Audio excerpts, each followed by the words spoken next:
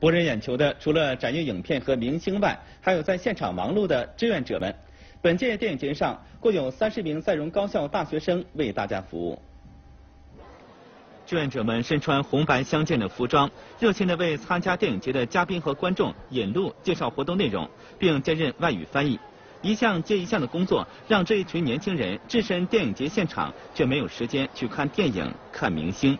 哦，我们只要引导一些嘉宾，引导一些一些嘉宾，然后帮他们一帮助他们做一些入住的手续之类的，然后我们尽量的为他们排忧解难。他不仅可以给我一个锻炼的机会，同时呢，也可以让我见识一下，呃，呃丝绸之路的一些嗯知识啊，或者是文化。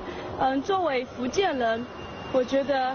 同时，也作为一名学生，我觉得我有责任去弘扬呃丝绸之路的呃文化。本台报道。